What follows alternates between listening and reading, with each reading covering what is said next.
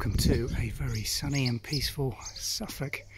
And this morning we're going to show you around this rather beautiful part thatched ancient cottage that we've been staying in down here at Wood Farm Barns holiday complex in Suffolk. So let's go in and show you around the cottage.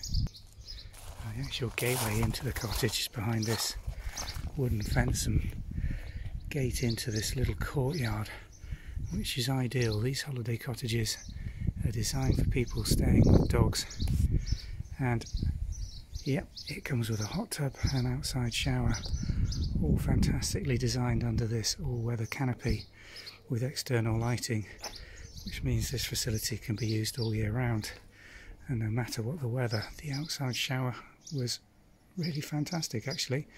I enjoyed that while staying here in July courtyards filled with roses, gravelled and hard landscaped.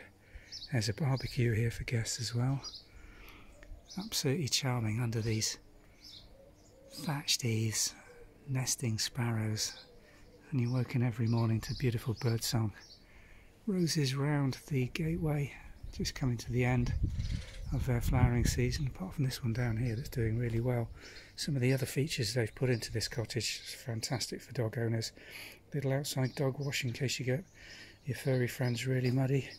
Even provided some doggy shampoo and a small shallow bath for the smaller dogs.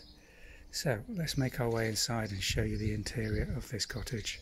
Well, you step in through that courtyard, beautiful old Suffolk boarded door into this lovely farmhouse style kitchen. It's even got this farmhouse door on the rear looking out over a small courtyard area. Don't get access to that, but it just lets the light through through. There's a beautiful red fire, call it an Aga, but really it's an oil fired boiler and cooker. It's worked really well while we've been here. Really gets very, very hot very quickly. Fridge freezer a nice dresser with toaster, lovely farmhouse table in this room with a couple of chairs. Fantastic that this kitchen opens directly onto that courtyard with the hot tub and there's an outside seating area again just covered under you can see there to the side of the hot tub. Marble worktops with butler sink and a handmade pine kitchen with loads of storage. Really well fitted out, some really good ideas here for us as let owners that we're going to copy and use. Let's go through to the rest of the cottage now and show you from the kitchen. You come down this corridor along the front of the cottage through the outside bit which is fascinating. Just look at the roof on this.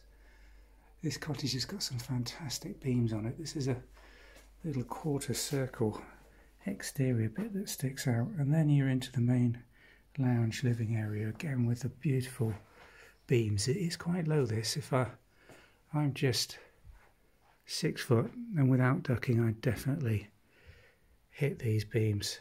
So not ideal for really tall guests. But there's a secondary room I love these old Suffolk cottages the way they just have removed some of the walls in the old smaller rooms to make these big open spaces. Plenty of radiators in this room, but it's dominated by the most wonderful inglenook fireplace on the old main chimney breast. And just look at that cast plate at the back of this open log burner. Absolutely fantastic. Lovely sunny views out onto your private parking area. And then we're going to go upstairs. A quite narrow non-specific design staircase again just built into this little area brings you up into the main bedroom. Quite uneven these floors. You really do know you're in an old cottage in these rooms. And here we are in the main bedroom upstairs with a big king size bed. Low ceilings again. Just look at these old floorboards. Absolutely fascinating. Not a flat surface in here at all, really uneven, but with a lovely picture window looking west. Gets the sunsets in the evening beautifully through here. And then we're going to make our way through. I'm just going to pop the lights on As coming off this main bedroom is this secondary smaller room used as a dressing room with a wardrobe. There's a futon bed in here. It would be suitable for children coming away and staying, but this cottage is advertised and let as a sleeps two. Window overlooks the courtyard and the final bit of the cottage through this very narrow low area onto this balcony and through into let me get the lights on there we go a beautiful bathroom wood paneling slipper bath low level toilet wash basin and small mirror. Lovely. Absolutely beautiful cottage. We've stayed here for three nights in July 2023 and really had a fantastic stay peaceful location it's a complex with about seven or eight holiday barns and cottages on it but the way it's designed is really inspiring.